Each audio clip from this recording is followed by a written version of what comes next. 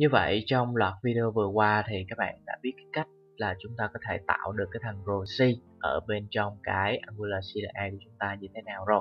À, chúng ta có thể sử dụng cái đường dẫn API à, ở trên cái thằng Register.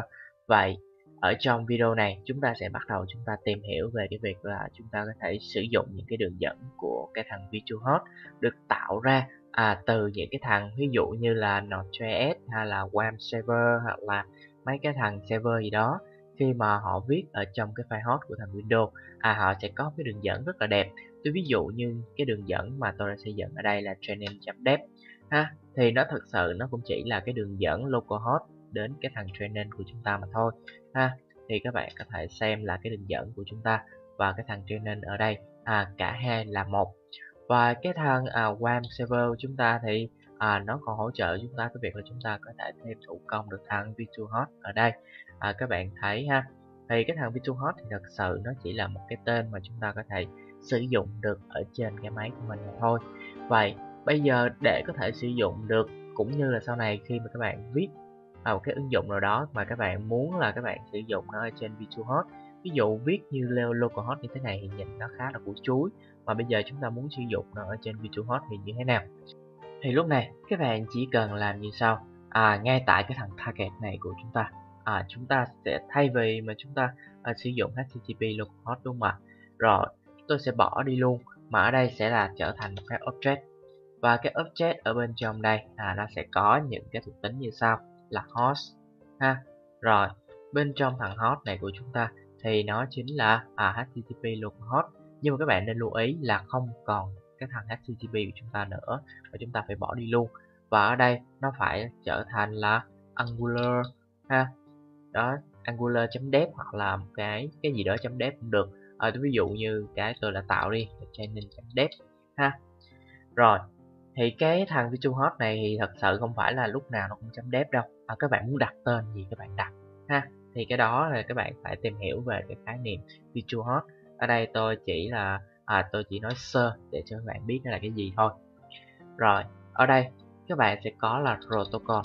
Rồi cái protocol của chúng ta thì chúng ta sẽ có những cái giá trị như sau. Đó chính là http 2 chấm ha? Bởi vì chúng ta sử dụng http các bạn để ý ha ở đây à, các bạn sử dụng channel.dev thì chắc chắn rồi. Ở đây sẽ là http các bạn không tin các bạn Ctrl C các bạn Ctrl V lại thì các bạn thấy là à, cái rơm chúng ta đã hiển thị được http còn nếu như các bạn sử dụng https thì ở đây sẽ là https ha.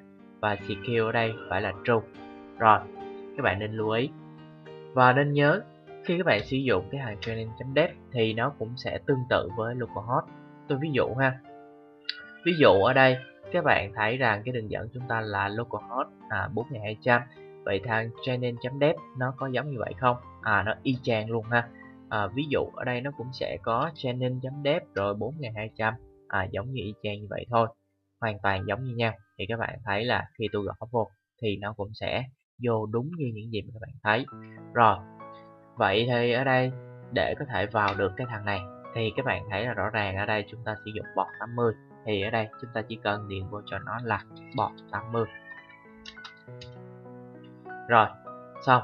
Ha thì như vậy là các bạn đã định nghĩa xong được hot con rồi port và khi các bạn vào bên trong channel.dev thì các bạn thấy là à, cái đường dẫn của chúng ta nó không còn có cái chữ channel nữa mà nó chỉ còn tới à, tới cái thằng Wishstar CLI và API thôi. Vậy thì chúng ta chỉ cần bỏ cái thằng này đi.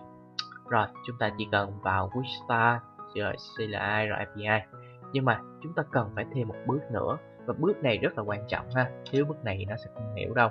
Rồi các bạn sẽ có đó chính là gen origin ở đây các bạn sẽ cho nó là true. À có nghĩa là nó sẽ đổi tên cái đường dẫn. Ví dụ cái thằng training.dev này nếu như các bạn không có cái thằng này thì nó sẽ trực tiếp à, liên hệ đến cái địa chỉ là 1.27.0.0.1 nhưng mà nó không cho theo cái tên này theo. À, có nghĩa là nó không truyền cái tên này theo. Thì rõ ràng khi các bạn tiền cái đường dẫn này ở trên cái website cũng như là cái ROM này thì các bạn sẽ thấy là nó vào bên trong cái thư mục của thằng WAM server chứ không phải là thằng uh, training.dev cho nên vì thế chúng ta cần phải thêm cái dòng này nữa để nó truyền thêm uh, cái giá trị này qua cái thằng này. Để nó hiểu là à bây giờ là tôi chạy với cái danh nghĩa là của thằng training.dev chứ không phải là localhost ha thì lúc này nó sẽ chuyển cho chúng ta. Rồi bây giờ tôi sẽ bấm save lại ha. Rồi tôi Ctrl C. Rồi bây giờ tôi sẽ end user nó. Ha rồi, bây giờ các bạn chờ trong giây lát.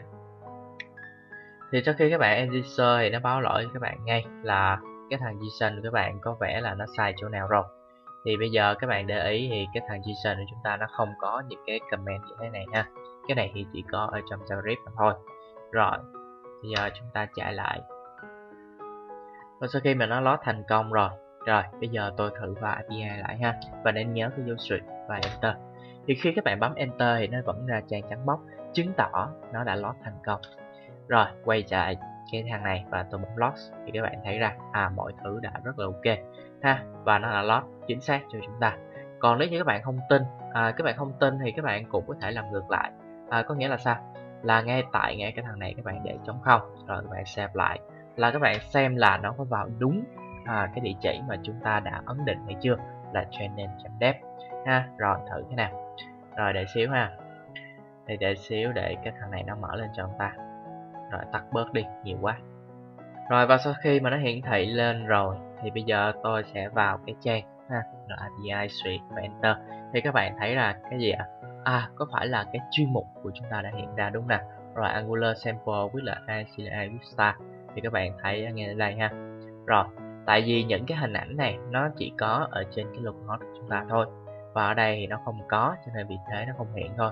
Nhưng mà mọi thứ sẽ rất là bình thường ha. Các bạn có thể vào Vista CLI à, các bạn có thể thấy à, những cái chuyên mục ở bên trong của chúng ta đã hiển thị ra rất là chính xác. Rồi và như vậy là các bạn cũng đã biết qua cái cách là chúng ta có thể config được cái thằng à, webpack theo cái thằng visualhost cho chúng ta rồi ha. Rồi tôi sẽ trả lại cái cũ cho chúng ta. Rồi bây giờ tôi sẽ chạy lại một lần nữa ha. Rồi rồi sau khi xong rồi bấm load cả làm rồi sau khi mà chúng ta đã load thành công thì các bạn thấy rằng à ok ha mọi thứ ok rồi. Rồi ở đây tôi à, đổi qua lại là query ha. Thì khi mà các bạn dev ở trên cái thằng user thì nó rất là lẹ ha. À, các bạn reload lại là xong và load thì các bạn thấy rằng à, chúng ta đã load được chính xác những gì mà chúng ta muốn. Rồi. Rồi xin cảm ơn các bạn đã xem qua video clip này. Rồi xin chào các bạn ha.